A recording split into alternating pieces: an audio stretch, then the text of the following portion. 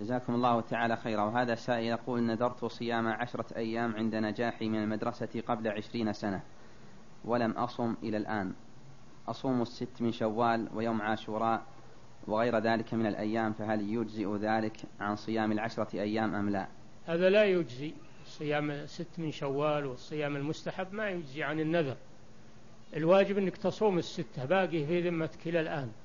دين لله يجب عليك الوفاء به.